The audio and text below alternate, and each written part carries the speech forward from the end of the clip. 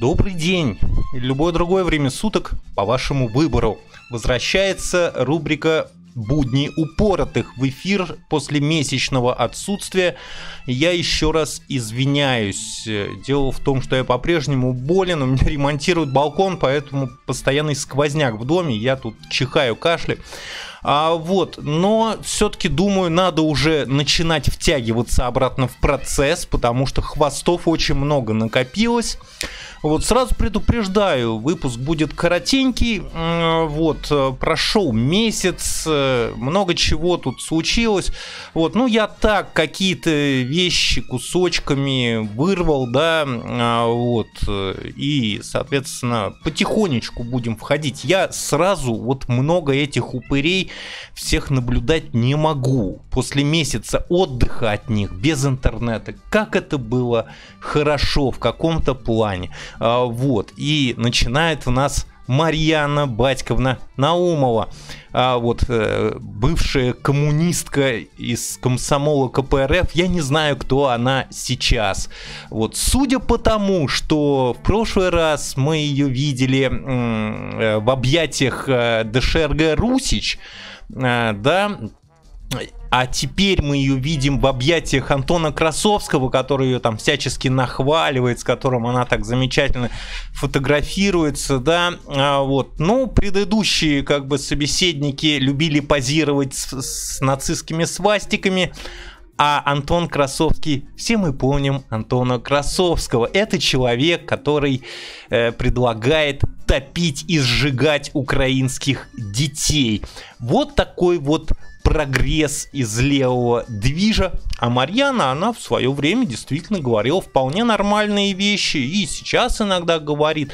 Но как-то вот э, круг общения у нее все больше напоминает, э, не знаю, какой-то филиал э, я не знаю, гестапо э, там, э, или филиал СС. Вот ну что ж, флаг в руки со свастикой, наверное, как это любит Леня Менчаков, да, или как там его звать, этого персонажа, да, а, вот, и попутного ветра, а, вот, Марьяночка, значит, Дмитрий Анатольевич Медведев, ну вот, э, понимаете, на примере Дмитрия Анатольевича очень хороша видна гибкость спины наших э, буржуазных пропагандистов, ну потому что Дмитрий Анатольевич, он в последнее время выступает как такой э, вот Соловьев, вот, только ультра Соловьев, да, в своем телеграме, вот. Э, и, соответственно, вот тут он э, читал э, нашим руководителям оборонных предприятий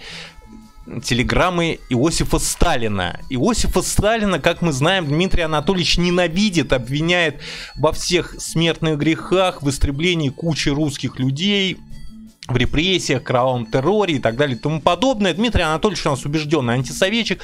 Я, кстати, напомню, что именно во, во времена правления Дмитрия Анатольевича, а не Владимира Владимировича, Большую коммунистическую улицу в Москве переименовали в улицу Солженицына. А, вот так вот, на секундочку. Вот. Но что не сделаешь а, вот, э, ради пропаганды. Сейчас в тренде Сталин, сильная рука и так далее и тому подобное. И Дмитрий Анатольевич прочитал а, руководителям предприятий его телеграммы. Вот только руководители предприятий во время Великой Отечественной, они знали, что если они не сделают того, что, соответственно, от них просит Иосиф Виссарионович, ну, не дадут там стране танков и так далее и тому подобное, вот, то их поставят к стенке тупо, и весь народ это поддержит. А, вот, а руководители наших предприятий сегодня прекрасно знают, что если они не дадут стране танков и всего остального, им не сделают ничего. Вот, потому что мы уже много раз наблюдали, что как у нас наказы президента выполнялись и так далее и тому подобное. Что случилось с теми людьми, кто все это сорвал? Ничего. А, вот. И Дмитрий Анатольевич, ну, в этом смысле выглядит, ну, немножко смешно. А, вот. Потому что Иосиф Виссарионович, он, соответственно, имел и власть, и соответственно, решимость на серьезные действия и поддержку на такие действия. А если Дмитрий Анатольевич начнет предъявлять что-то вот э, в плане таком нашим каким-нибудь экономическим бонзом, я боюсь, что у него могут проблемы с политической карьерой возникнуть. Вот, потому что власть-то у них, а не у него. А, вот. Советскому Союзу, чтобы достичь баланса с гитлеровской Германией, потребовалось несколько лет. Это интересно, с какого момента? Если э, с начала Великой Отечественной войны, ну, несколько это сколько? Насколько я помню, контрнаступление под Москвой э, произошло через полгода после начала Великой Отечественной. Ну и вообще так мы промышленность достаточно быстро подняли, сколько там, несколько лет.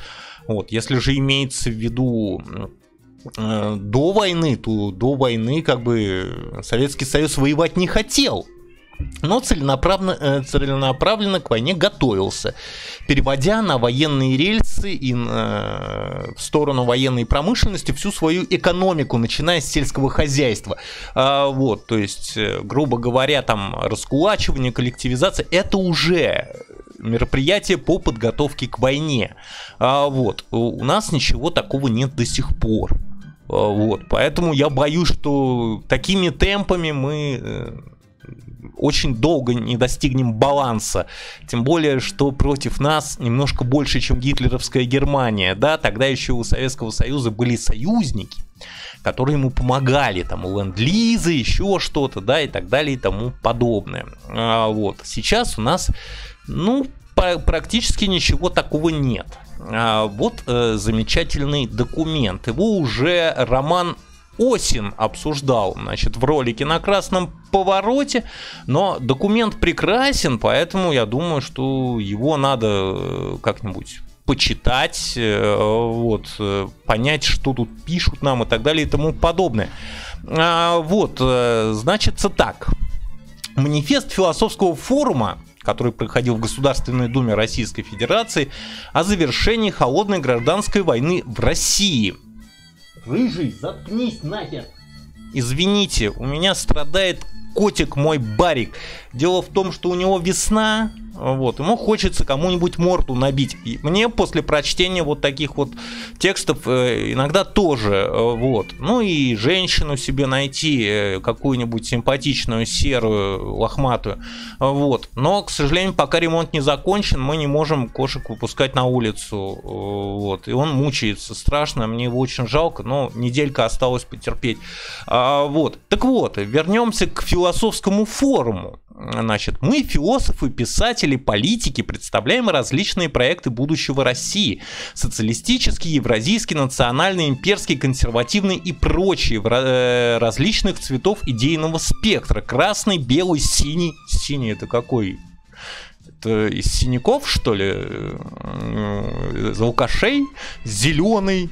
Зеленый это бандиты или колги? Тут надо уточнять. И другие.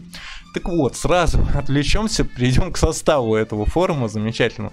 А, вот, значит, Госдума сидят, значит, Роман Антоновский, сыны монархии, известный телеграм-канал, а, Владлен Татарский, э, известный тоже человек, да, Коробов, Латынцев, я вообще не понял, кто это, это какой-то писатель, который что-то там написал, вон он сидит, а, вот, а потом уехал на Донбасс, от СССР пишут, Алексей Чедаев, тра-ля-ля. Э, значит, э, сотрудник группы советников Немцова, «Молодая Россия», так, дальше «Русский журнал», э, значит, доцент РГГУ, референт в управлении внутренней политики администрации президента России, Единая Россия, вот так далее и тому подобное. Он почему-то здесь назван право-левым.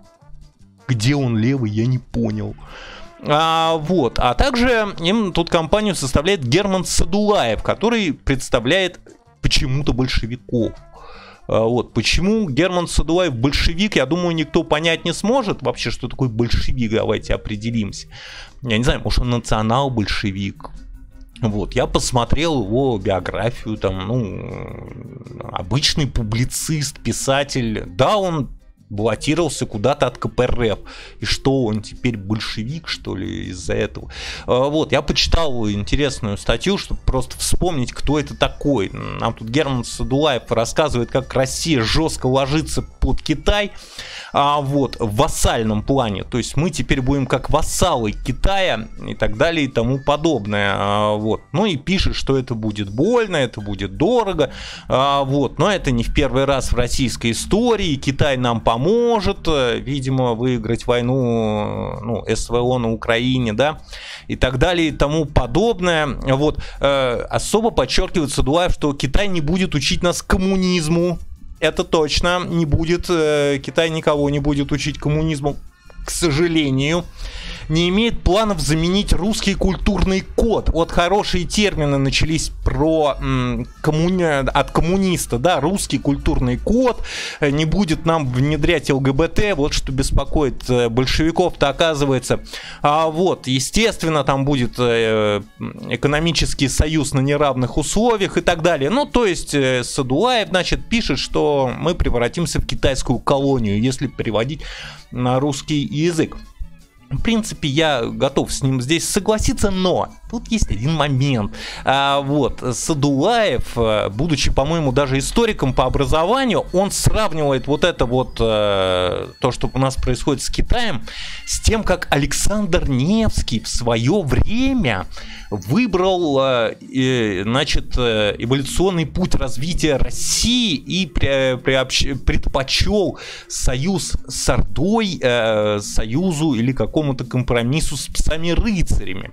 А, вот, ну, вот эта вот байка про выбор Александра Невского, это, я не знаю, серьезные люди, как такое вообще могут говорить? Тем более большевики. Большевики должны говорить правду.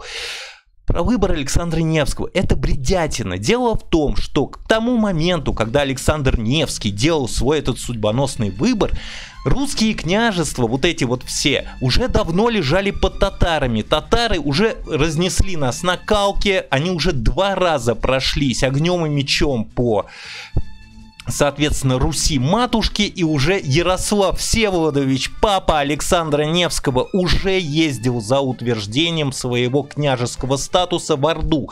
То есть мы уже были вассалами, никакого выбора у Александра Невского не было. Дело в том, что, э, если мы помним, да, э, тогдашнюю ситуацию, вот сам рыцарям Александр Невский мог на равных противостоять, потому что это были вот феодальные такие государства, да, у них примерно был силовой паритет, да, то, то есть мы их могли разбить там на Чудском озере где-нибудь, они нас еще где-нибудь, но в принципе, э, вот, русское княжество, оно могло бодаться с Ливонским там или Тевтонским орденом, э, вот, в открытом поле военной силы, а с Ордой нет. Вот. И у Александра Невского никакого выбора не было. Что касается того, что Орда не лезла, тут Садулаев делает на этом акцент, что Орда не лезла в нашу русскую самобытность и не запрещала, например, православную церковь. А, вот, это главное, да. По поводу того, как Орда к нам не лезла, это мы все знаем. Карательные походы ордынцев на Русь, да, всякие там Неврюевы рати, еще какие-нибудь рати. Или как наши князья, тот же Невский использовали татар как карательную силу против каких-то своих или противников, соответственно, по историческому процессу, ну, соседних русских же князей. Можно Ивана Калиту вспомнить на эту тему. А, вот. Э, или просто карательные походы, если кто-то что-то не платит. Это вот так вот Орда не лезла к нам внутрь, да, а, вот, в наши внутренние дела. Вот. Вспоминаются сразу какие-нибудь сожженные Чернигов, да, там вырезанная Рязань и так далее и тому подобное. Это вот Орда не вмешивалась в наши дела. Это вот к этому приравнивает наш союз с Китаем Герман Судулаев. Видимо, он начитался Гумилева, который очень любил писать про симбиоз и синтез, как мы жили чуть ли не равноправно, да?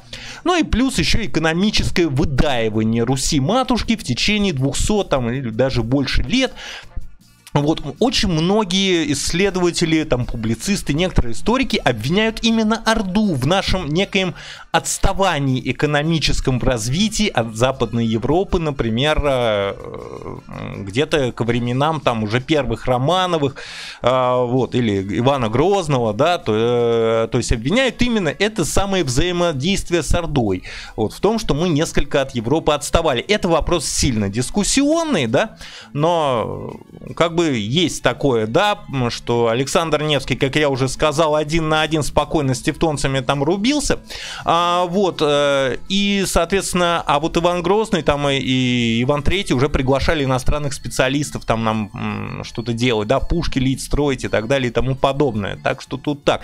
И я, кстати, замечу, что Орда вот, она не помогала Александру Невскому рубиться э, с тевтонскими с псами-рыцарями-то. Нет. Она ему помогала только у себя внутри порядок наводить, ну, подавлять э, противников и возмущения, всякие народные бунты. Вот это она помогала делать. Вот. Это вот с этим сравнивает Герман Судуаев. А что касается русской православной церкви, русского культурного кода, вот этого вот знаменитого, да, который Орда не трогала, так ей не надо было трогать русскую православную церковь, потому что русская православная церковь против вот этого всего, да, против этого симбиоза, ничего против не имела. Вот, и молилась за хана батюшку, а, вот, в прямом смысле этого слова. А, вот, то есть она стала инструментом Орды, она местному быду внушала, что не надо с Ордой бороться, поэтому ее никто не трогал. Вот, ну, а естественно, э, с псами-рыцарями стали бы рубиться русские православные ровно потому, что это конкретно две конкурирующие организации, да, вот, то есть они бы друг друга паству отбивали. Вот, вот такой вот человек Герман Садулаев, которого здесь выдают за большевика.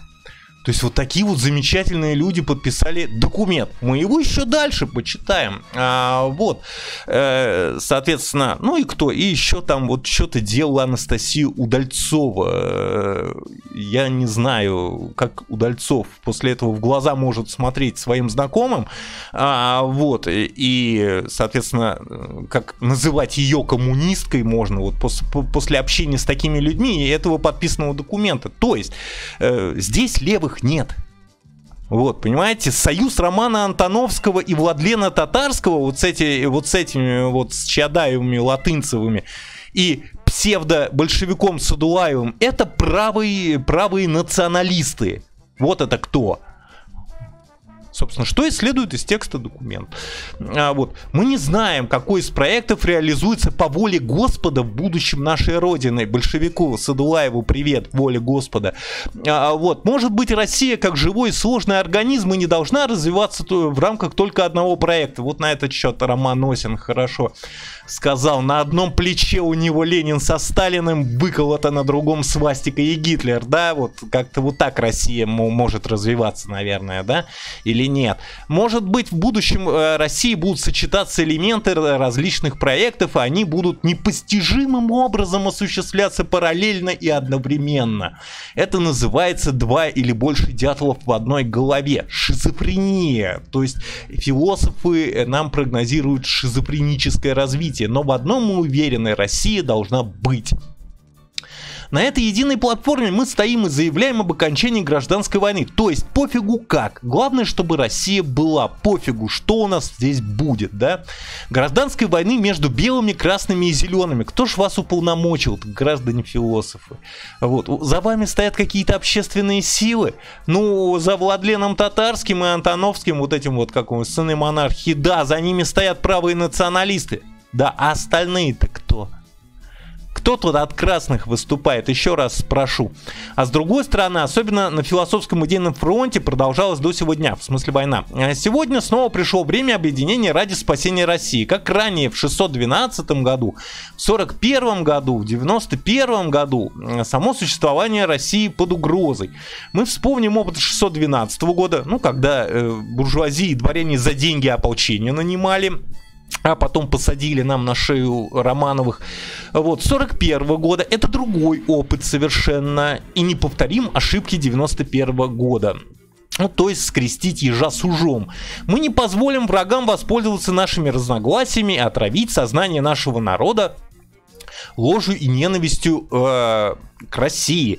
Мы заключаем философский союз. Гражданская война имеет сетевую природу. Никто не объявляет ее официально, народ просто втягивается в кровавое противостояние.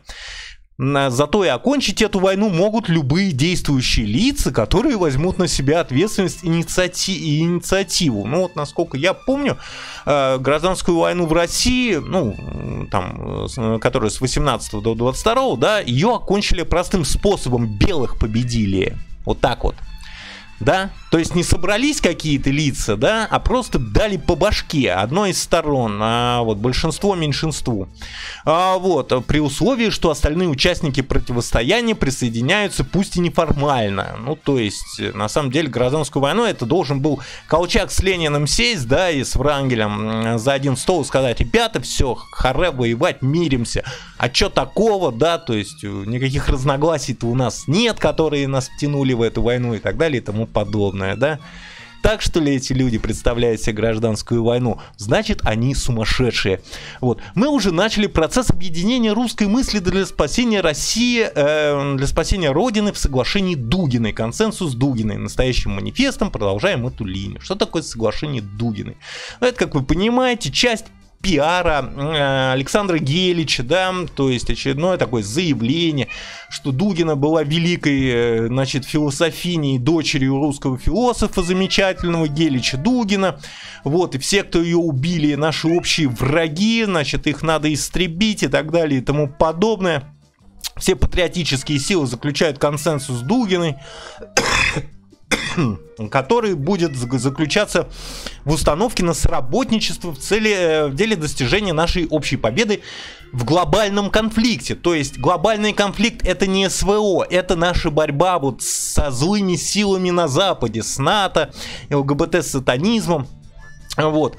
Ну, потому что здесь про экзистенциальную угрозу. Мы, ниже подписавшиеся, обещаемся отложить на время свои раздоры, претензии, сообща сработничать нашему государству. Да, общая победа на всех фронтах и тра-ля-ля. Ну, то есть это солидаристский националистический документ. Э, Садулаеву и Удальцову еще раз привет. А, вот, э, значит, мы заявляем не о временном перемирии, а о вечном военно-гражданском мире в, на, в нашем военно-гражданском обществе. У нас уже не гражданское общество, а военно-гражданское общество. Ребят, я вас поздравляю с этим. Вот, вечный, вечный мир, э, а, абсолютно абстрактная категория, то есть мы знаем, как заключались вечные миры там во всякие времена, там еще при там, э, Московии, да, то есть Российской империи, все это обычно продолжалось несколько лет. Вот. Ну, то есть это балабольство. Мы будем способствовать миру всеми философскими средствами. Это какими? И всем арсеналом идейного оружия. Это да. Телеграм-каналы, особенно какие-нибудь сыны монархии, там они так к миру призывают, там почитать, что они про левых пишут. Будем продолжать, ну, только не про Садулаева, с Удальцовой, наверное, да, мы будем продолжать внутреннюю дискуссию о путях развития России. Владлен Татарский недавно тут тоже писал, обвинял коммунистов э, в том, что они начали СВО, ну, в смысле, в 30-х годах, когда создали украинскую нацию. А вот, о путях развития России, об идеологии там, э, и методологии внутри нашего союза, но не дадим врагу шанса вбить клин, там, все дела мы любим свою родину, мы видим, э, что идеология властных группировок, захвативших политическую власть и философский дискурс на Западе, извините, является враждебной самому существованию России.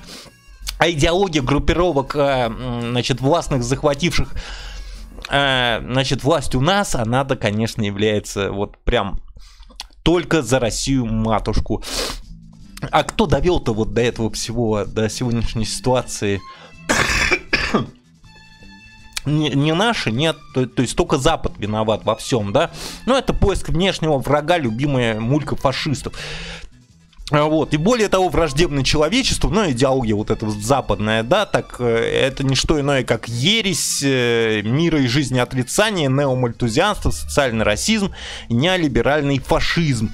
А, вот, ну, как обычно, побольше ярлыков навесить, да, то есть все виноваты, кроме нас. Скрепляем, скрепляем умом и сердцем наш философский союз. Слава истине, слава Великой России, слава Иисусу Христу еще подписано. Значит, кто еще в это дело входит, да? Еще входит вот такой вот Дмитрий Кузнецов, замечательный человек.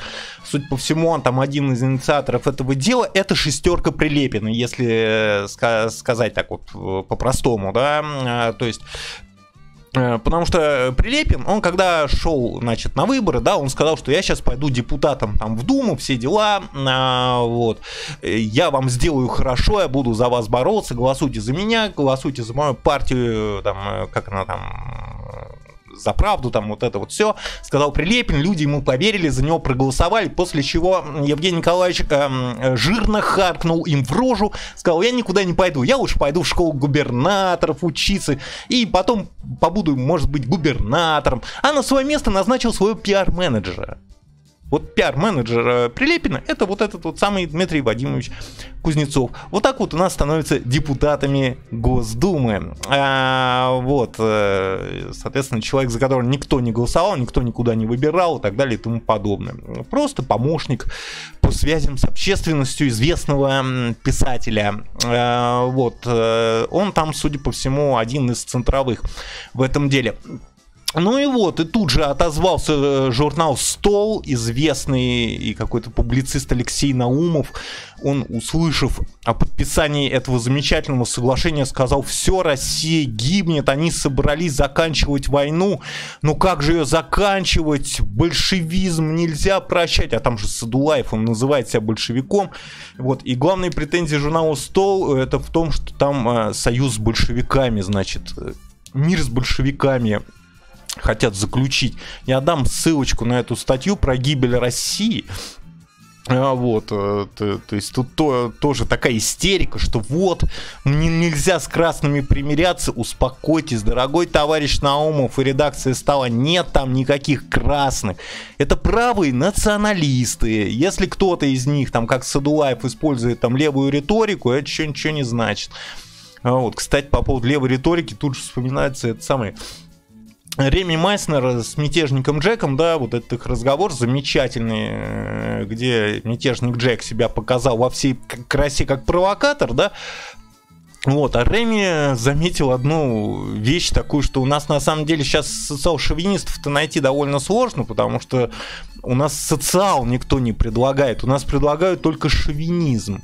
Вот. Но, с другой стороны, там Рэми можно понять, он просто не хотел обижать каких-то партнеров по общению, да, в, в левой среде, вот, потому что можно в скидку сразу назвать э, там профессора Попова, Олега Двуреченского, Удальцова, кого угодно, Настю Удальцову, вот, вот кого не хватало здесь, вот они бы были замечательными большевиками, они бы замечательных большевиков представили за этим столом, там еще какие-нибудь Тюлькины из РКРП, еще кто-нибудь. Вот, вот тогда бы, да, это было представительное собрание. А так собрались правые националисты и начинают нам тут задвигать что-то за мир, да. А вот, ребят, вы там между собой договариваетесь, на, нас не трогайте, мы-то здесь причем. А вот а, Илья Ремесло, а, значит, э, выступил тут интересно, ну, интересно в том смысле, э, что Э, вы помните э, гражданку Янгалычеву Екатерину, э, вот, замечательную депутатку Мосгордумы от КПРФ, так сказать. Вот известную мракобесскую и очень красивую женщину. Вот. Этого не отнять, она очаровательна просто. Вот. Ну, она ча- часто пишет тоже в Телеграме. Вот на этот раз она написала, что у нас тут типа ИИ, э, ну, искусственный интеллект будет помогать там ставить диагнозы в больницах. Она написала, что вот там типа э, наши власти все хотят убить, потому что ИИ имеет свойство ошибаться и так далее и тому подобное. И Илья Ремесло, надо заметить, абсолютно правильно ее отбрил. Да, потому что, собственно, в исходной новости, новость от прошлого года, там написано, что ИИ будет помогать врачам ставить диагнозы, то есть они будут пользоваться какими-то элементами искусственного интеллекта, там, ну, просто в, раб- в работе там с компьютерными данными и так далее и тому подобное. Никто ИИ, там, роботов не, не назначает никуда лечить. Илья э, совершенно правильно ее отбрил, эту девушку. А, вот, э, ну, она действительно известна своими интересными там заявлениями, например, она э, увидела знаки антихриста в чипировании животных у нее, э, и прихода, значит, конца света в чипировании животных, э, прихода апокалипсиса. Какая замечательная мадам-то, а? Очень красивая. А, вот, э, но в данном случае Илья совершенно правильно поставил ее на место. Ну а тут что надо подчеркнуть? Понимаете, вот эта ситуация, она очень хорошо демонстрирует то, чем занимаются сейчас официальные коммунисты из КПРФ. Они диск дискредитируют само, само, сам термин коммунист. А, вот, потому что Илья Ремесло имеет полное право назвать Катю Ингалычеву коммунисткой, хотя она там на самом деле бизнес-вумен, да, там какая-то там у нее туристический бизнес и так далее и тому подобное, вот. Вот, она такая же коммунистка, как я не знаю кто, как какой-нибудь там Потанин или Ходорковский, только помельче. А, вот. Но он ее имеет полное право так называть, потому что она состоит в КПРФ. Я не знаю, она там купила место или ее взяли за красивые глаза, чтобы там э, образ партии там омолодить как-то. Мы же знаем, мы помним там колдунью еще блондинку замечательную Зюгановскую, тоже из КПРФ, из Питера колдунью, да, который магические семинары проводит, да, и так далее и тому подобное. Да ту же эту самую Марьяну Науму. Вот. Там есть это такое, что берут симпатичных девочек, да, чтобы они там вот показывали молодое лицо партии, да, что не только старый дядя Зю. Вот, ну и вот, Илья Ремесло совершенно правильно называет ее коммунисткой в данном случае. Потому что она член КПРФ, и все смотрят и говорят, о, какие коммунисты, мракобесы, идиоты. Вот, так что в данном случае по тексту Ильи я с ним согласен более чем полностью. А, вот, э, но вот это вот, э, тут претензии, конечно, Кате Ингаучевой, которая несет такую хрень. А, вот, и последнее, значит, Э, я тут наткнулся тоже в Телеграме, там есть паблик, я его уже рекомендовал как-то, библиотека там каких-то русских книг Российской империи, там, где публикуют замечательную литературу совершенно. И вот, натолкнулся я там, значит, э, на книжку вот этого вот Н.Е. Маркова, да, замечательного. Сейчас мы его откроем на Википедии. Николай Евгеньевич, он нам пригодится Э, вот, э, под названием э, «История еврейского штурма России». Это речь, которую он там зачитал в 30 каком-то году в Берлине на какой-то там встрече ихнего монархического движения. Вот, саму статью мы, э, речь, мы ее читать сейчас не будем, она очень длинная. Э, вот, но я хотел бы пробежаться просто по биографии персонажа, да, он, она очень интересная.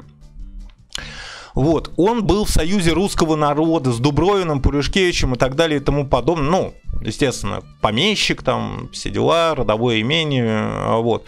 Работал инженером, а вот, земский деятель и так далее и тому подобное. А, вот, значит, выборщик в губернское избирательное собрание, ну, то есть такой вот, да,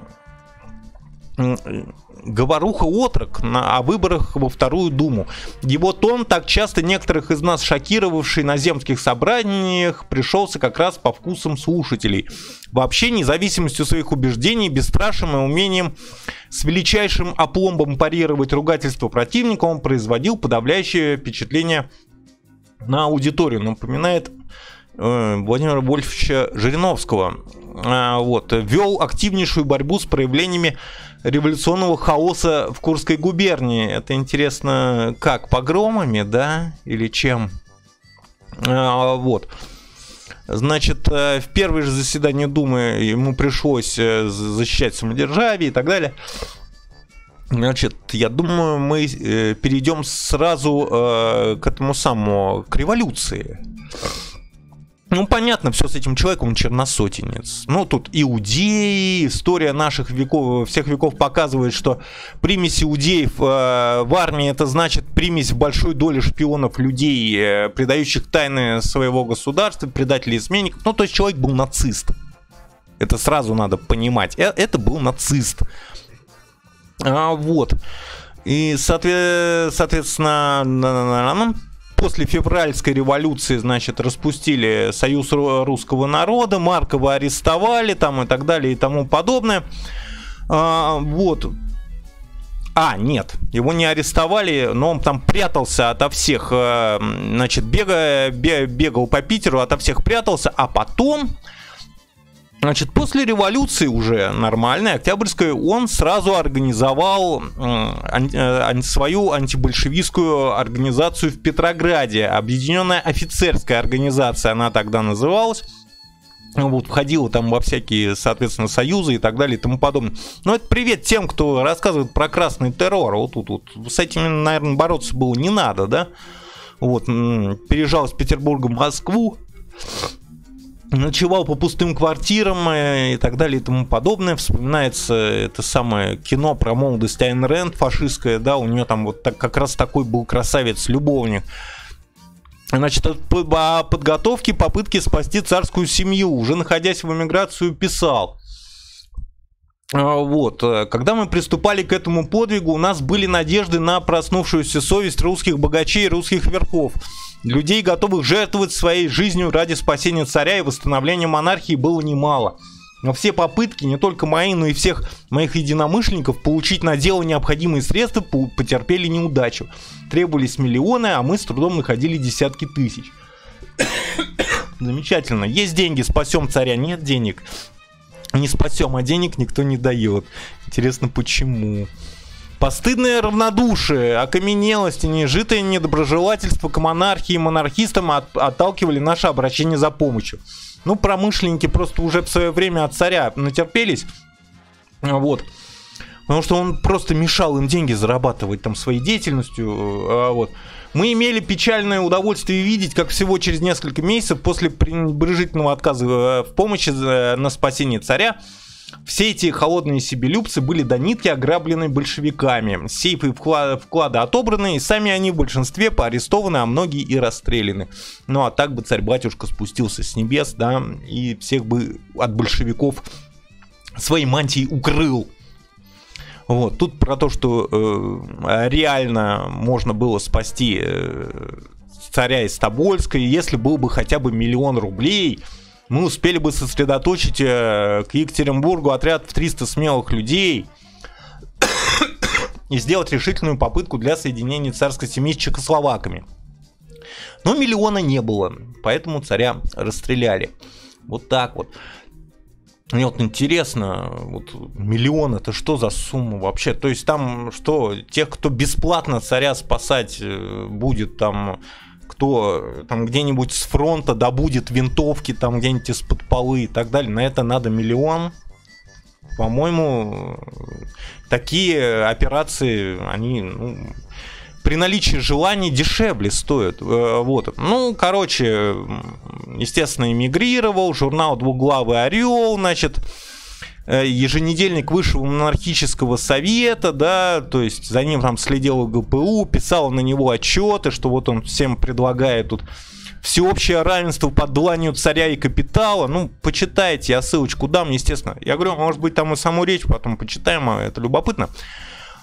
Вот, э, значит, русский народ по духу географии истории всегда был ближе к востоку, чем к западу, да. А, значит, э, марксизм теоретический плод еврейского, то есть азиатского духовного творчества, ловко привитый Западу. Вот.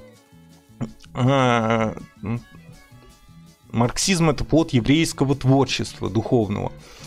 А, вот, соответственно, к русской культуре не подходит. А, вот, э, значит, история еврейского штурма, да, иудомасонством и британскими империалистами, поддержанными в России либеральной интеллигенцией, англоманами из бюрократии, была спровоцирована Первая мировая война иудомасонством, да, а, вот масон Милюков во всем виноват, э, Россию разрушил, овладела ей власть международного иудейства, большевистский коммунизм большевистский, естественно, через С.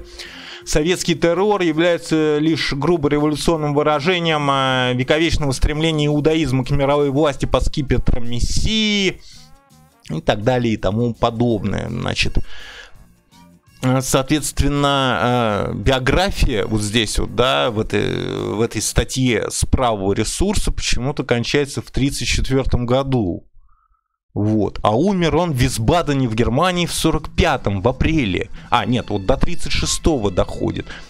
А вот, э, соответственно, вот это вот меня всегда очень радовало в биографиях вот этих вот ребят замечательных, рыцарей, ну, в данном случае не белой даже, а монархической идеи, это вот эти вот дырочки в биографиях, особенно если они живут в Германии.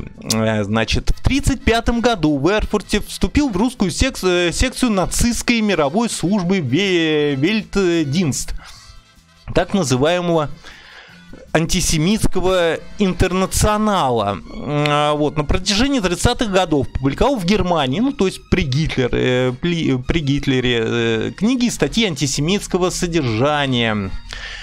После нападения нацистской Германии на Советский Союз продолжил агитационно-публицистическую деятельность. Э, вот. Являлся вместе с генералом Красновым, с редактором выходившего в Берлине казачьего, казачьего вестника.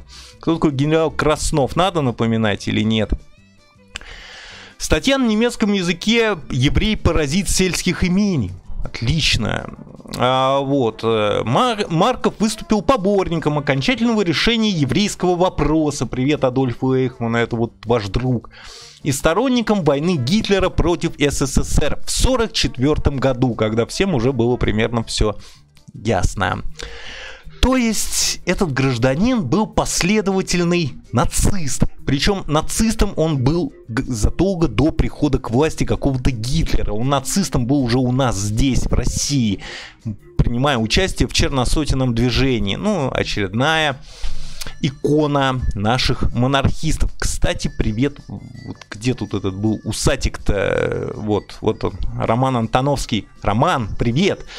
А, вот почему вот эти вот люди, они постоянно вот у них так получается. Кстати, вот с Лидией Марковой, с его дочерью, насколько я понимаю, мы встречались в ролике про Барченко, помните? А, вот, э, ну, она попала под, короче, эту разборку э, с Барченко, с этим э, с тайным орденом, да, вот с, эти, с этим всем мракобесием, э, с Глебом Бокием и так далее и тому подобное. Ну, подробности в ролике.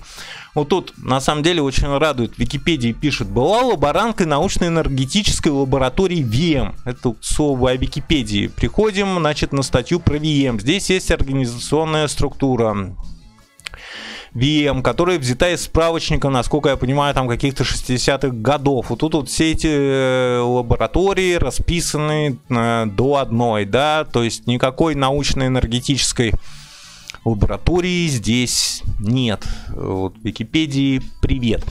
Вот, извините, пожалуйста, за кашли, чихи и так далее и тому подобное в эфире. Я думал, меня хватит, э, но нет, видите, в конце все-таки одолело.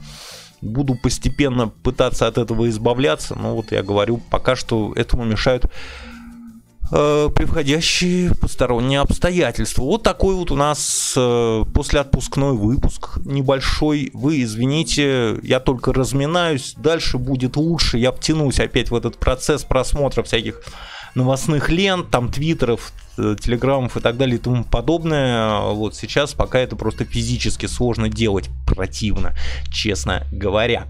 Всем хорошего настроения, всем добра.